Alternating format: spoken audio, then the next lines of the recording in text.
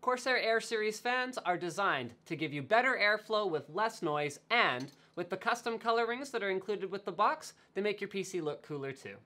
This is an SP120. The SP stands for static pressure and the 120 stands for 120 millimeter, meaning it'll fit in virtually any case and work with many coolers on the market. Now, why do I care about cooler compatibility? Because static pressure is what these fans are all about and they are designed to be mounted directly against a heat source or other restrictive material, such as a heatsink, a water cooling radiator, or up against something like a hard drive cage.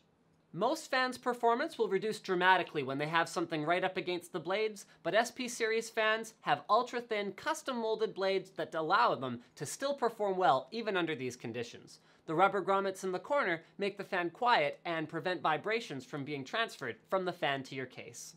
Here's a Corsair Vengeance C70 case outfitted with Air Series fans. I'm using SP static pressure optimized fans for the radiator that's built into the H100i cooler in the top, as well as next to the hard drive cage in the front in order to make sure that I'm pushing enough air through that tight restrictive space.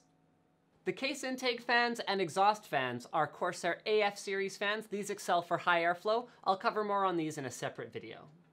In short, replacing your stock fans with Corsair Air Series is one of the quickest, easiest ways to get better cooling performance and less noise from your computer. This has been another Tech Quickie. I'm Linus, and I'll see you again next time.